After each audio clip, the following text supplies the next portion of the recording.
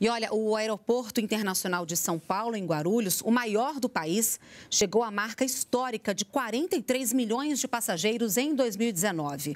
O volume é o maior registrado nos 35 anos de operações do terminal.